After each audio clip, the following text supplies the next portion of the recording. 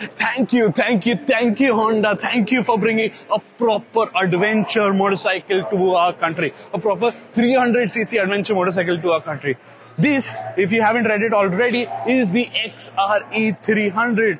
And just look at it. It looks properly adventure ready, properly off-road adventure ready with its short beak, small headlight, purposeful looking headlight cowl so that you can attack those trails with vigor.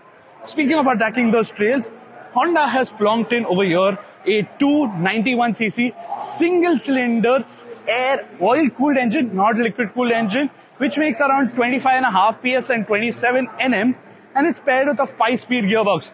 But you know what? Since it's an adventure motorcycle meant to attack those trails, it should have dollops of low end torque to make it easily go up those steep trails.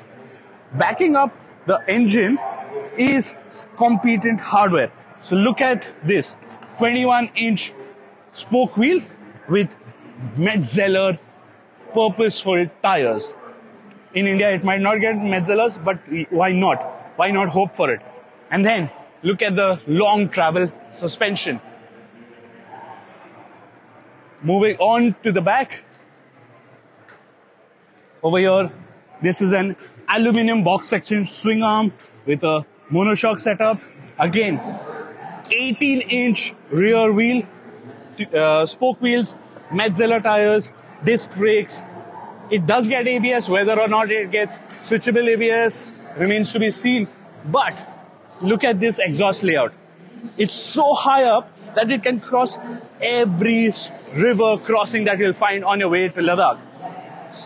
Speaking of Ladakh, Honda has also put in this small carrier system to mount your luggage on. Agreed, it only has a payload capacity of 7 kilos, but hey, why not take it and try it out? Backing up the adventure claim further is its ridiculously high ground clearance. Now, sure, this will help you cross all the obstacles, and but you might be wondering whether the seat height has gone up quite a bit. Now, I am 5 feet 10 inches and I am tiptoeing a bit. So the seat height is definitely on the taller side. But since the seat is scooped out and it's slim in the midsection, most riders should find it favorable for riding in everyday riding situations. Speaking of which, this bike weighs just one kilo more than the Hero X Pulse 200. And you already know how light that bike is.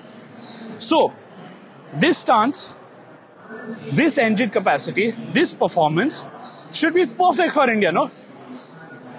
But sadly, this isn't coming to India.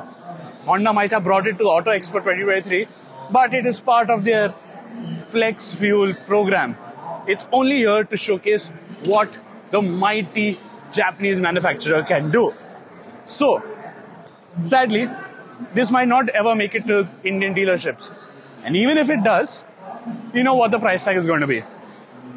So, like and share this video if you like to, subscribe to Zigwheels, and this remains a distant dream.